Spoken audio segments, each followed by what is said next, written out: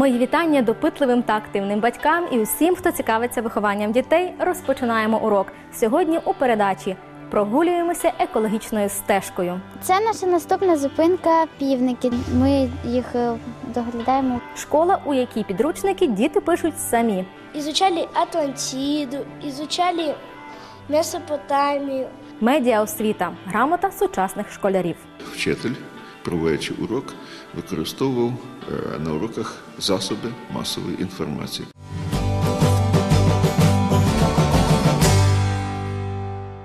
Не так давно батьки боялися, аби діти не потрапили під негативний вплив вулиці і всіляко намагалися завантажити дитину додатковими заняттями на секціях і гуртках. Нині, прогулюючись парком чи містом, якщо і зустрінеш підлітка, то з телефоном або планшетом у руках. Новий час диктує нові виклики. Тепер тата і мами міркують, як відігнати дитину від телевізора та комп'ютера. Наші вінницькі колеги напередодні побували у родині, де спілкування цінують більше за дорогий телефон, і дізналися у експертів, як з користю можна використовувати медіаресурси і чому такою небезпечною є залежність від віртуального світу. Аби не піддавати шкідливому впливу інтернету, телебачення, кіно, газет та журналів та ефективно з ними взаємодіяти, був створений новий напрям підготовки дітей та дорослих медіаосвіта. Вона з'явилася у 1950-х, епоху першого масового використання телевізорів. Тоді вперше курси медіаграмотності почали вводити у навчальні програми старшокласників. Сьогодні в усіх розвинутих країнах існує курс медіаосвіти в школі. ЮНЕСКО визначає її як одне із прав людини. Анатолій Анцибор, завідувач кафедри психолого-педагогічної освіти та інновацій Вінницького інституту неперервної освіти. Науковець переконує, ця тема потребує великої уваги. Історія медіаосвіти налічує більше ста років. Колись вже досить давно е, ставилося питання, щоб вчитель, проводячи урок, використовував е, на уроках засоби масової інформації. Анатолій Іванович розповідає, медіакомпетентність повинні формувати батьки і працівники освіти постійно. Незвичайні бесіди, цікаві розмови, аналіз інформації формує у дитини думку та навчає мислити. Якщо вчитель використовує на своєму уроці чи на виховній годині якийсь засіб масової інформації, то він е, повинен е, разом з тим обговорити не тільки інформацію, яку він отримав із цього засобу масової інформації, але й е, обговорити сам засіб. Сніжана Дімітрова, психолог, спеціаліст запевняє, для того, аби дитина користувалась медіаресурсами самостійно, у неї мають бути сформовані базові поняття. Також юна особа повинна уміти аналізувати інформацію. Для того, чтобы ребенка научить ориентироваться, что добро, а что зло, а, нужно с ним разговаривать. Да? И поэтому даже маленький ребенок, который посмотрел мультфильм, а с ним нужно говорить про этот мультфильм, обсуждать. Да? То есть э, не, не рассчитывать на то, что он сам поймет, потому что иначе это превращается в просмотр таких ярких картинок, На жаль, багато батьків використовують мультфільми та комп'ютерні ігри, аби полегшити собі життя. Такий, на перший погляд, безпечний спосіб зекономити час породжує багато проблем, одна з яких медіазалежність та втеча від реальності. родителям легче занять ребенка, там, поставить ему мультфильмы, и чтобы он там часами смотрел эти мультики или играл в какую-то игру, ну, чтобы самим не вовлекаться в этот процесс э, воспитания. Сім'я Мелованових це оаза любові, турботи та поваги. Батьки весь свій вільний час проводять з дітьми. В цьому будинку принципово не підключають інтернет, тут немає комп'ютера. Батьки власним прикладом демонструють, як потрібно цінувати свій вільний час, дозвілля, проводять разом, присвячують багато часу душевному спілкуванню. Компьютер, конечно, интернет есть, есть на работе. Э, Дома мы стараемся просто уделять внимание нашему общению с помощью э, разговора, с помощью игр, с помощью э, Ну, с помощью танцев мы включаем музыку, мы любим с детками танцевать под веселую музыку, Э, мы любим петь с детьми. У нас есть и детские караоке какие-то э, песни с э, мультфильмов, и мы очень любим, и украинские песни очень любим петь. танці, ігри, розваги дозволяють малечі проживати справжнє дитинство, адже в більшості випадків діти, які обирають віртуальне життя перед комп'ютером, просто тікають від реальності.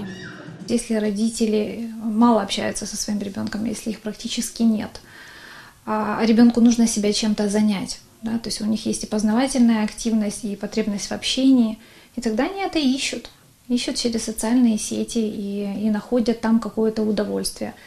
Почему дети присаживаются на компьютерные игры? Потому что там есть возможность что-то выиграть, достичь, почувствовать себя успешным, сильным. В сім'ї Мілованових така атмосфера, що діти просто не розуміють, для чого весь вільний час проводити перед екраном комп'ютера. Через це Луїзі дуже важко знайти друзів, які розділили б з нею її захоплення. Мне, если честно, нету о чем разговаривать с моими одноклассниками, одногодками, потому что все настолько нырнули в эту технику, в планшеты, даже в телевизоры. Дівчинка розповідає, поки не було планшету, однолітки відкрито насміхались над нею. Вони це робили, бо думали, що у Луїзиних батьків просто немає коштів на купівлю дорогого гаджету. Все смеются, о, у тебя нет телефона, о, у тебя нет планшета. Еще вот раньше, когда у меня не было телефона сенсорного, был кнопочный. Ну, там не было ни блютуза, ни камеры, фотографировать нельзя.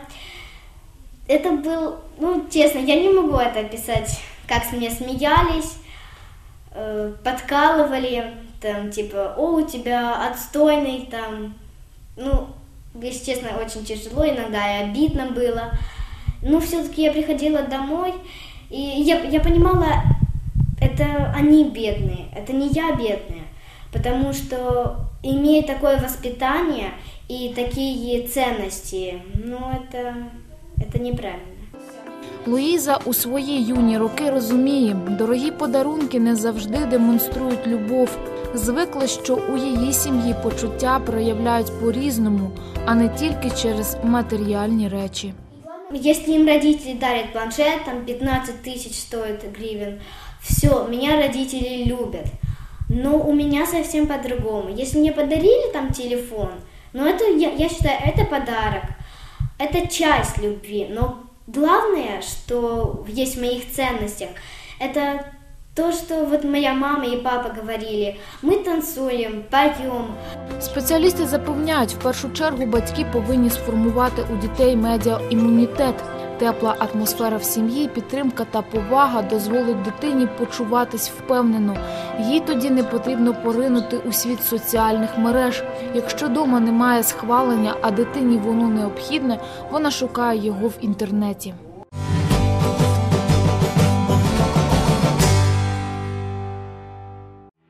Державна підсумкова атестація випускників загальноосвітніх навчальних закладів першого ступеня проводитиметься з трьох предметів та триватиме з 10 по 20 травня 2016 року. Про це повідомляється на сайті Міністерства освіти і науки України. Міністерство освіти має намір за допомогою електронної системи онлайн-тестування продіагностувати рівень фінансової грамотності у 16 тисяч школярів. У Києві відзначають Європейський день мов. Учасники заходів змогли відкрити все розмаїття мов на уроках іноземної, презентаціях навчання в Європі, поетичних читаннях, майстернях, зустрічах, конкурсах, іграх, показах європейського кінематографу і танцювальних майстер-класах народів Європи.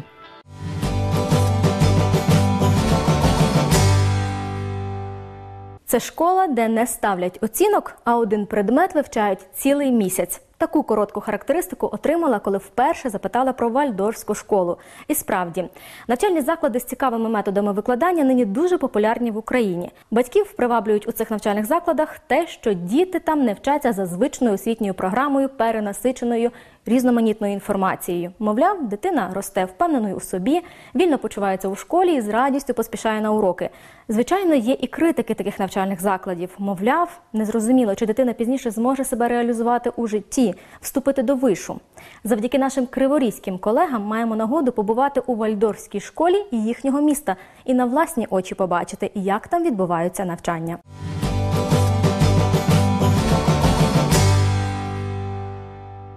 Кожен з нас, навчаючись у школі, не раз мріяв про те, щоб вивчати тільки цікаві предмети.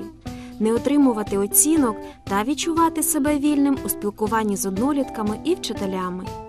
На думку багатьох, такою школою є Вальдорфська. У нашому місті вона існує більше 20 років. Навчаючись у вальдорфській школі, діти отримують середню освіту, але за іншою методикою. Зокрема, кожен навчальний день розпочинається з ритмічної розминки і читання віршів.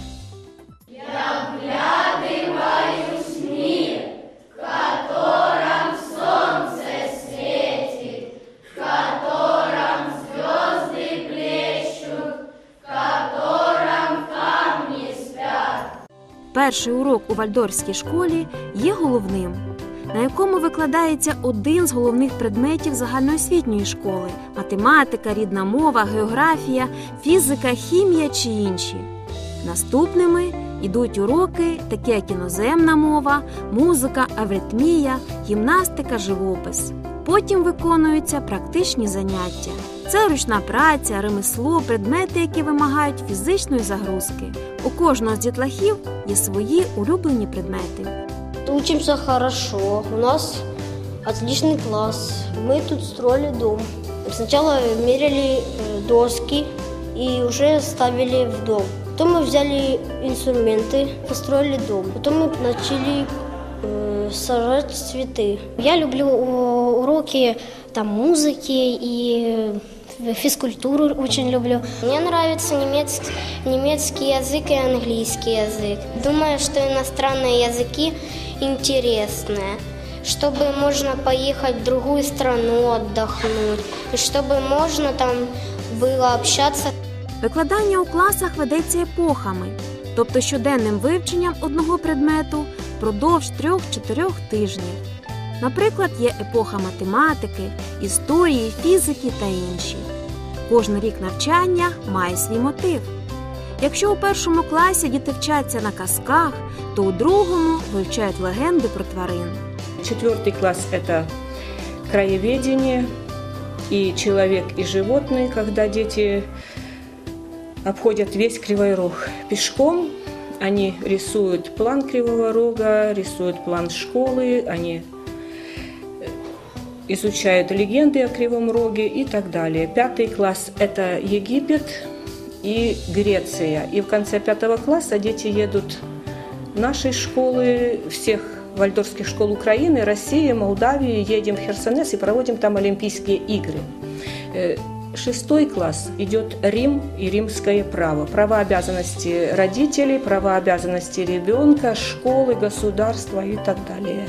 Седьмой, восьмой, девятый класс – это средневековье, раннее сред- и позднее средневековье. И десятый, одиннадцатый класс – это уже практики. Навчатися у такій школі досить цікаво. До речі, підручники пишуть самі діти. Навчання ж з першого по восьмий клас проводиться одним вчителем, який одночасно є і класним керівником.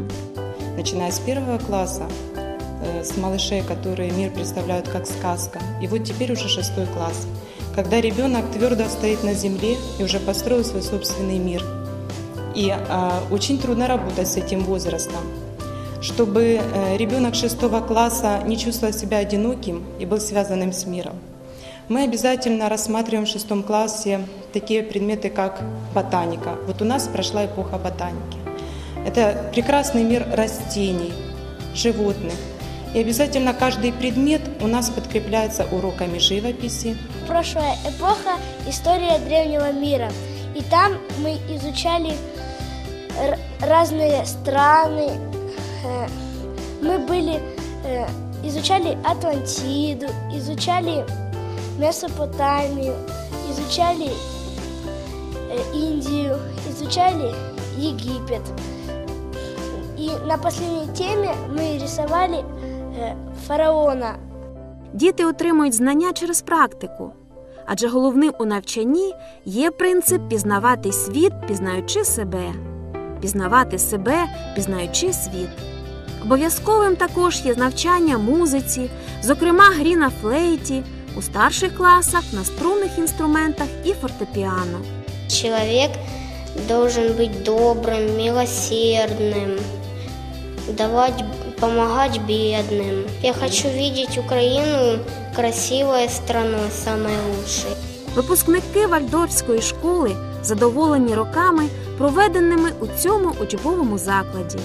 Адже атмосфера, що панує у ньому, і стиль виховання не тільки розвиває творчі здібності, дає знання, а й формує найголовніше поняття добра, дружби і гуманізму, позитивне ставлення до життя.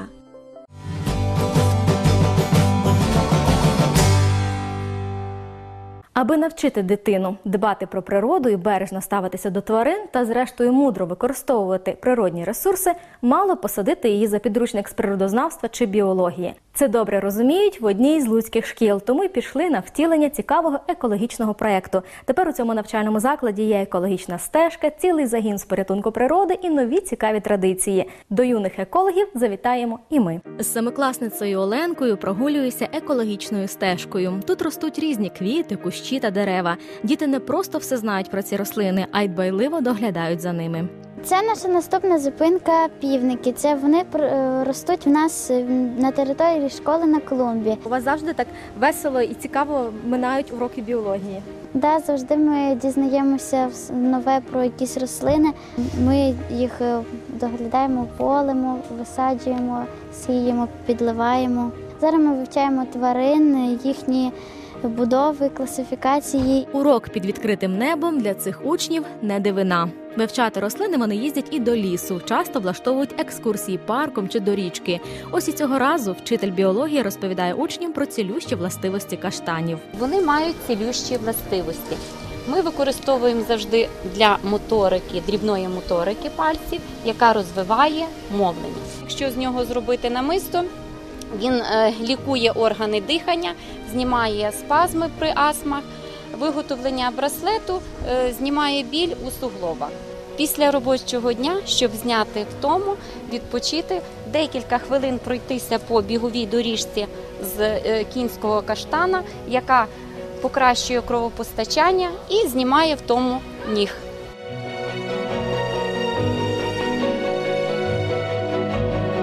І започаткували експеримент якраз екологічне виховання школярів. Це починаючи від е, початкової школи, четверті класи в нас такі загони, добрики вони називаються, які займаються там доглядом за е, деревами, за пташками, так, підкормлюють так, зимою. Ось. А вже старші, вони вже безпосередньо задіяні от, е, в таких більш практичних діях. От це ми співпрацювали з лісництвом, от, з Вірівським, ну, загалом Волинського лісництва, і їздили на різні акції, в тому числі посадка дубів, дубової от, алеї. От, Тут у нас, от, там, е, на території лісництва. Коли е, людина працює біля землі, от, коли людина е, вирощує, коли є результат її праці, коли от, е, вона радіє природі і радіє тим пташкам, тваринам, які нас оточують, коли вони наживо, а не на картинках чи там по телебаченню. От, мабуть, це є важливим таким от в нашому житті. Такі поїздки до лісу чи в поле, як ніщо інше, наближають дітей до природи. Учні вчаться не лише милуватися краєвидами, а й розуміти, якої шкоди може завдати планеті людина. Практичні заняття вже дають неабиякі результати, кажуть вчителі. Робили шпаківні, робили і е, годівнички. Також проводили вчителі з ними екскурсії, як в парку 900-річчя, так і в лісі, через те, що саме е, екологія екскурсійна, вона починає давати перші паруски, зачатки щодо екологічного виховання. Проект ще був започаткований майбутнє лісу в твоїх руках. Ми посадили 20 гектарів лісу, Доглядають юні екологи і за річками міста. Повсякчас беруть активну участь у міських акціях з прибирання берегової зони, дбають і про кімнатні рослини. У старших класах уже більше дізнаються про сучасні екологічні проблеми, виснаження природних ресурсів, загрозу поширення сміттєзвалищ, ентузіазм педагогів і учнів. Передався і батькам. Тепер принципи екологічного виховання, запровадженого в школі, сповідують і в родинах школярів. Я завжди наголошую на тому, що чисто не там, де прибирають, а там, де не смітять. Ось і ем, ще вдома, от ми завжди сортуємо е, вдома сміття. Ми ніколи не викидаємо е, папір у смітник. ми. е, Пляшки, навіть трьохрічний синочок у мене знає, що пляшечку треба занести і викинути в контейнер, який стоїть у нього в садочку.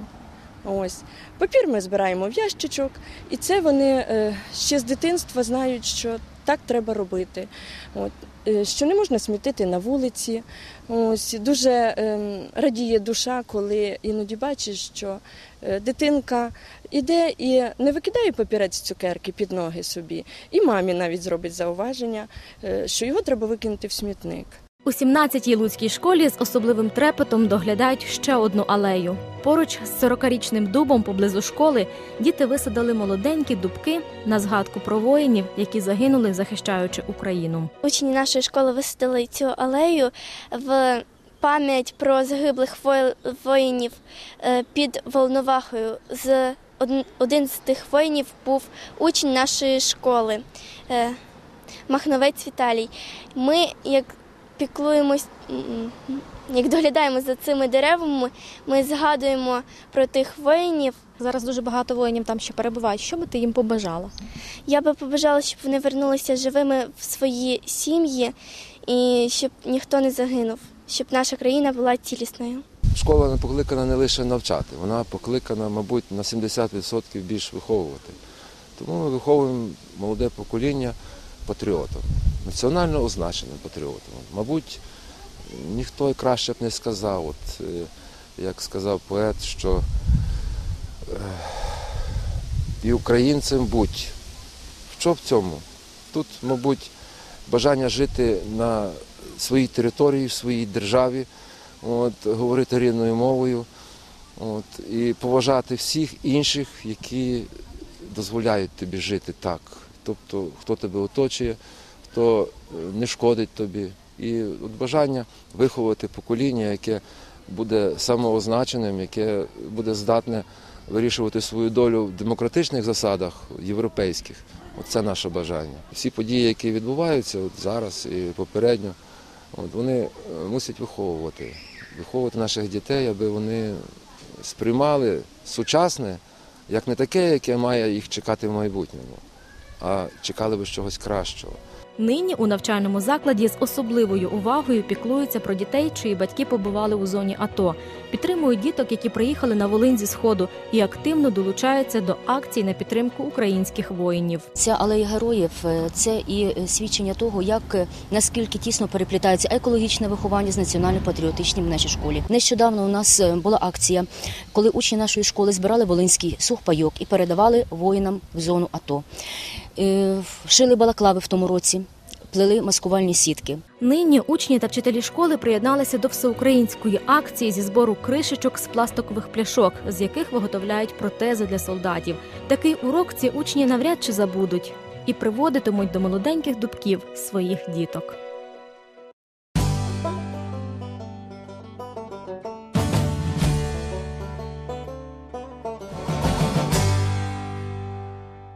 Знайомтеся, це Софійка, маленька волиняночка. Красунечка на фото одразу підкорила нас своєю усмішкою.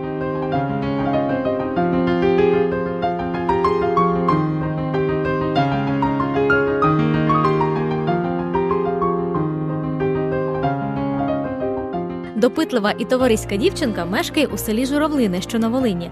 Вона з'явилася на світ 6 років тому у родині місцевого священника. Дівчинка довгоочікувана дитина, тому батьки Богдан і Надійка щиро дякують Богові за маленьке щастя і змалку вчать доньку шанувати рідну землю і християнські цінності.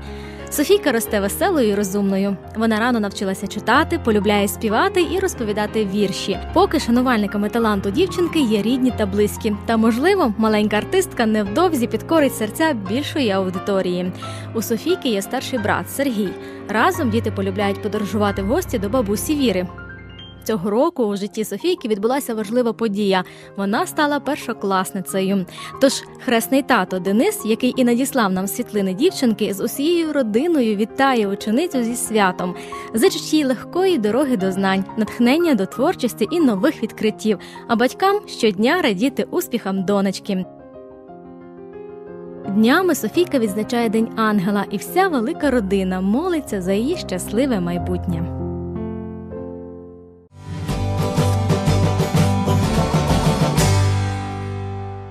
Участь у рубриці Світлини від родини може стати чудовим подарунком і вашій дитині. Тож не зволікайте, надсилайте фото і розповідь вашого синочка чи донечки на нашу поштову або електронну адресу. Пишіть про те, чим ваша дитина захоплюється, і пишіть про її мрії. Наступної ж передачі кличте до екранів телевізорів усю родину. На цьому урок завершуємо. Дякуємо усім за увагу. Побачимося за тиждень на цьому ж каналі. Бережіть себе і своїх дітей.